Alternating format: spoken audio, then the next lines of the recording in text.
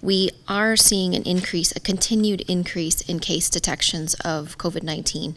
Um, it's the fifth or sixth week in a row um, where we're start where we're seeing increases in the reported numbers of cases. Omicron, the variant, the latest variant of concern, um, is dominant worldwide, and there are many subvariants, sublineages of Omicron that are currently circulating. About half of the sequences that have been shared in the last uh, four weeks or so um, are BA.5, one of the sublineages, and there are even further sublineages of BA.5.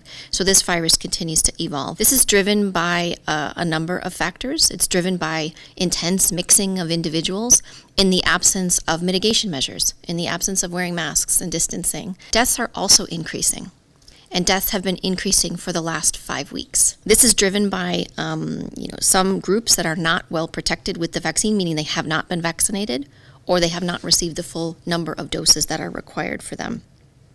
Almost half of the deaths uh, that were reported in the last week were from the Americas, and about 33% of those deaths were in Europe. And among the top 50 countries that have had reported, um, you know, increases in deaths, 35 countries had more than a 100% increase in deaths reported in the last week.